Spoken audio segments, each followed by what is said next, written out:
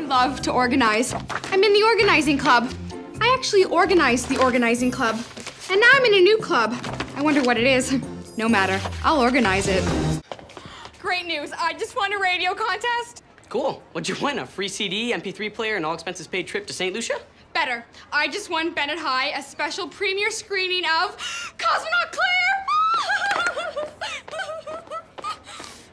we get to screen the movie here, and I get an actual Cosmonaut Claire costume, and there's loads of other prizes. Now the whole school can see it together. Excelsior now, Excelsior forever.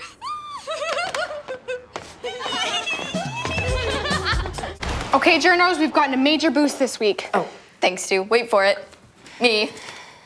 Yes. Thanks to Brittany. But we've got to come up with a bunch of new, awesome ideas. Topics with real journalistic integrity. No more stories about Carl, okay? Excellent. Ooh, ooh, I have an idea. Yes? How about we ambush Carl and then catch him doing something even more stupid and then keep on doing that forever? Isn't it kind of cheap to just keep doing the same thing forever? What about the new parking policies for students with cars? Snoozeville. I mean, people want to read about famous superstars. We could do an article about how I feel about Carl, but I don't give interviews. All right, I've had enough. Brittany, your English grade must be up to a C by now, which means you're fired. oh, and for the record, I like ballet flats. I don't care if they make me short. Without me digging up dirt for you, no one will ever read this paper again. I quit. I already fired you. You're fired. No, you're fired. I quit.